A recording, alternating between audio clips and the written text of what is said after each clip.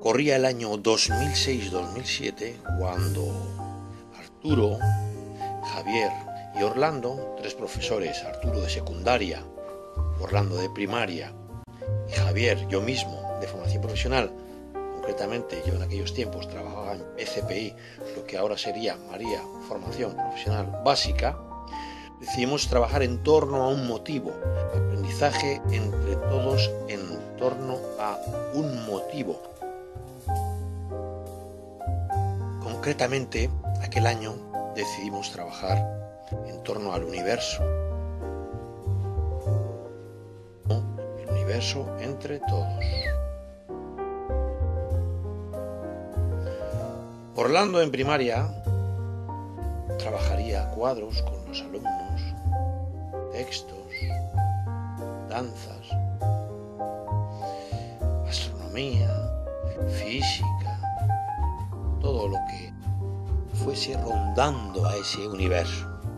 Arturo, que es profesor de matemáticas y astronomía con los alumnos de secundaria, prepararía los materiales didácticos para luego hacer las exposiciones en el planetario, porque desde formación profesional, taller, nosotros lo que construiríamos sería un planetario a tamaño real en el cual teníamos previsto que unas mil personas, todos los alumnos del instituto y de la escuela, incluso padres, pudieran visitar y asistir a las proyecciones sobre el universo, sobre las estrellas.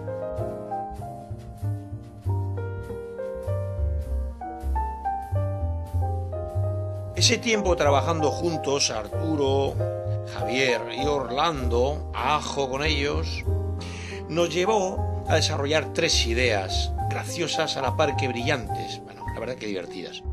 Una era la idea de interaulas.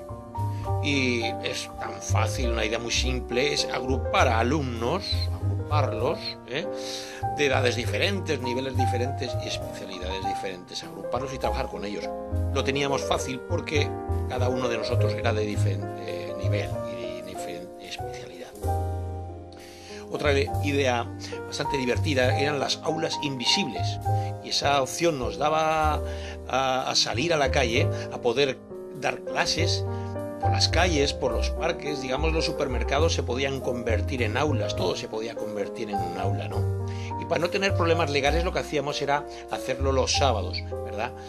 cogíamos algunos aparatos y nos íbamos a algunas calles y empezábamos a, a generar, se empezaba a generar un aula viva con los viandantes. Muy divertido. Otra idea era las píldoras inteligentes. Y de alguna manera hicimos un banco de saberes.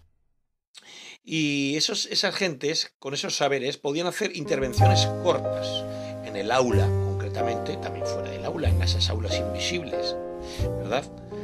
Y de alguna manera teníamos un banco de expertos entre padres, profesores y alumnos, gentes familiares de, alumnos y demás, teníamos un banco.